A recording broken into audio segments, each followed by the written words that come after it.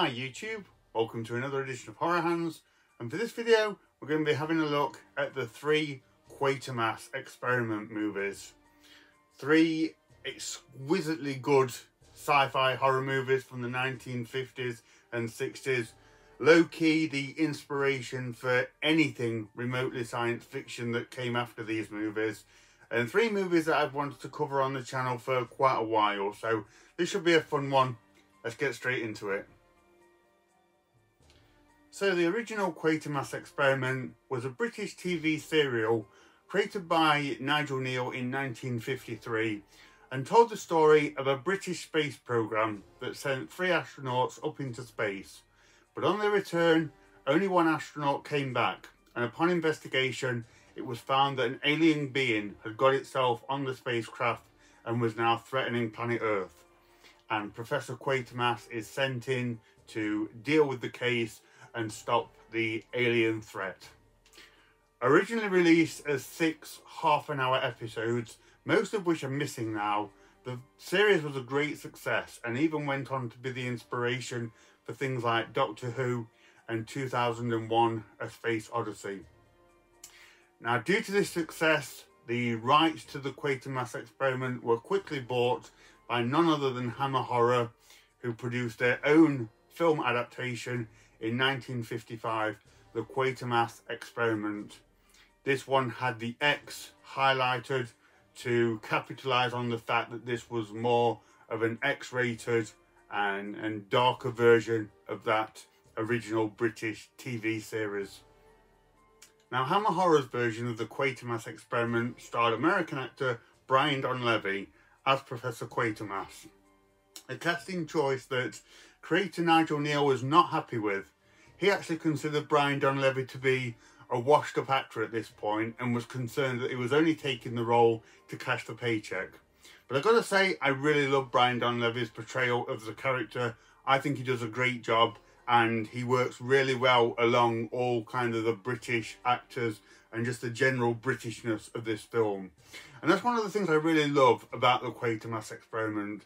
This was from a time where over in America there were lots and lots of really great science fiction, atomic age kind of movies that were really fun to watch and had a very kind of Americana feel to them, which worked very well for those movies. The Quatermass is kind of the UK's attempt at that kind of space age sci-fi horror film, but doing it with a real quaint Britishness about it that I really, really love. I love the look of the old-fashioned countryside shots in this film, and I just like all the scenes of kind of the stiff upper lip British actors converging in like the laboratories and things like that. So in this one, the uh, the scientist that comes back uh, after the, the alien creature takes over the spacecraft, he's taken to like a local hospital, but things are kind of changing with him physically, and uh, he starts to have like the alien plant growth thing on his arm, which is pretty scary actually, and quite distressing to see this guy sort of go through this transformation and not know what's happening to him and his body. It's really well done and very effective. And then I just like all the sort of the 1950s sci-fi tropes and things that go on in this movie all the time. Like I say, just having this kind of wonderful Britishness about them. So the Quatermass experiment for me, it's it's just a great example of 1950s sci-fi horror. It's got a really good mixture of both kind of the space age aspects, the horror side of it with the body transformation, and then there's a really cool kind of alien creature that comes out at the end. So there's a good payoff there in terms of the creature feature aspects of this. Uh, directed by Val Lewton, who's always uh, going to bring a quality film of this kind from this era. So yeah, if you haven't seen the first Quatermass Experiment, definitely check it out. It's a wonderful film to watch, and as I say, one that kind of paved the way for numerous sci-fi and sci-fi horror films that came after it. So after the success of the Quatermass experiment, we have Quatermass 2 from 1957. A really good sequel to the original movie. This one sees Brian Donlevy reprise his role as Professor Quatermass which makes him the person to have played Quatermass the most on screen, despite Nigel Kneale not being a fan of him playing the character. And this one's a really interesting movie. I really like this one, and it kind of it drops a lot of the space age aspects and kind of focuses on sort of paranoia and government conspiracy and that kind of thing. It's really interesting. So in this one, Brian Donlevy and his colleague, they, they discover that meteorites are landing in the English countryside in a specific spot. And upon investigation, find a mysterious government complex that they're not quite sure what's going on there, but something mysterious is afoot.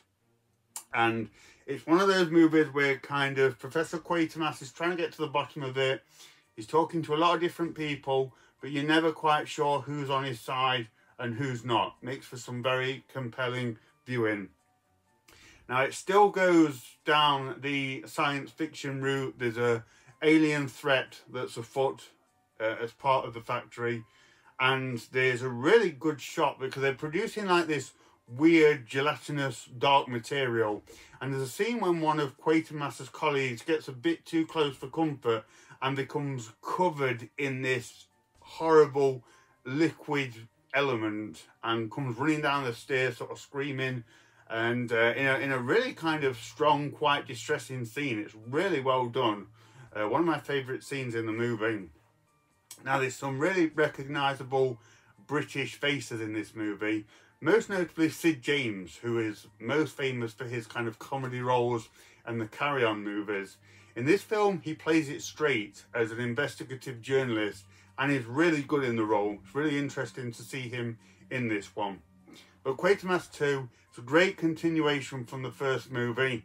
Like I say, it kind of it's, it steps it up a bit differently. It retains a lot of the sci-fi charm and the Britishness that the first one had, but goes down this route of kind of government conspiracy and not knowing who's who, and makes for a really good, very compelling viewing experience. And you get kind of the cool alien threat in this one as well. So yeah, Quatermass 2, solid sequel to the first one. If you've seen that one, definitely check out the second one. And then we come to the third movie, Quatermass and the Pit from 1967. Excellent movie as well. This one takes place in a London Underground station where if you look closely you can see numerous posters for Hammer horror movies. But they're doing some construction and the workers come across what they initially think is a World War II uh, bomb or device or something.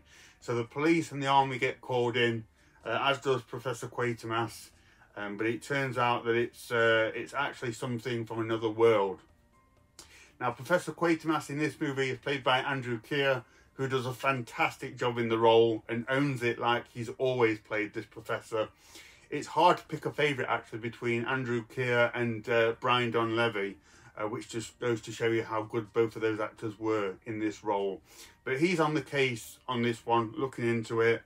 And at first it plays out like a really good kind of investigative science fiction movie where they're trying to work out what this device is and where it comes from.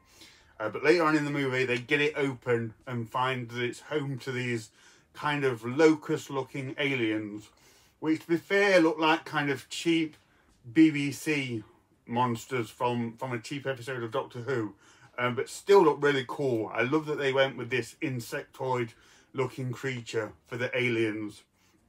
And they get them out and do some experimenting on them. I don't want to give too much away, but of course it's Quatermass, so you know there's an alien threat on some level within this movie. But this is just a really good kind of more contemporary Hammer horror movie. Like I say, taking place in this London Underground setting, which worked really well. Uh, and with Andrew Keir trying to trying to look into it, and uh, just a really fun film to watch. In fact, director Roy Ward Baker did go on record of saying that this was one of the most fun experiences that he had, and uh, one of the movies that he held most dear uh, to him, which is really nice to, to know. And as I say, it does come across as a really kind of wonderful film to watch. I really enjoy it. So yeah, Quatermass and the Pit, a really good sequel, wrapping up three excellent sci-fi horror films. So there you go guys, that's my little take on the three Quatermass movies. Like I say, three excellent sci-fi horrors, very inspirational, really wonderful films to watch, kind of underrated at the same time as well. So let me know what you think about these movies. Do you like them? Do you have a favourite? Let me know. I'd really love to hear your thoughts on these. So thank you very much for watching and stay tuned for more videos.